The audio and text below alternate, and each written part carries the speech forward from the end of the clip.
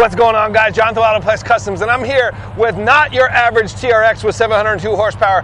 As you saw in the description, this one's got just at a thousand, and that is insane. This is a 2022 completely built TRX, and I just want you to come on over the front. I'm going to open up the hood and let you see. And as you heard in the beginning, how insane!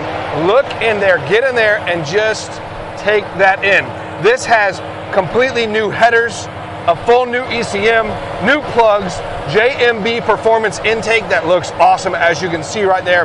It's got, uh, this has been built by Bailey's High Performance, full exhaust, straight pipes, completely wide open, high flow uh, cats. I mean, this thing has it all to give you right at a thousand horsepower, and it is an insane blast to drive.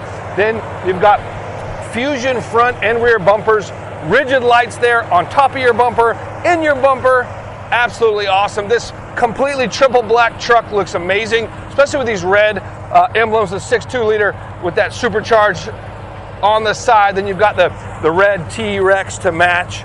I do love, as you saw there in the pre-shots, it's, it's my favorite thing that Ram did on these trucks to just kind of spit in Ford's face, put the T-Rex eating the Raptor. Just looks amazing. This is leveled out. Great wheel and tire combo there with your open country tires and those fuel wheels. It's got your Ram power steps that drop down. As I said, you come around here to the rear, you'll see, if you can even hear me, over this insane exhaust, as you heard in the pre-shots. Got matching Fusion bumpers with your rigid lights there in the rear. Also, suspension rides amazing. It's got those TRX shocks that came from Bilstein, but then a level kit on here. And I'm gonna just see, you can look at the exhaust. I'm just gonna hit the gas and listen to this thing.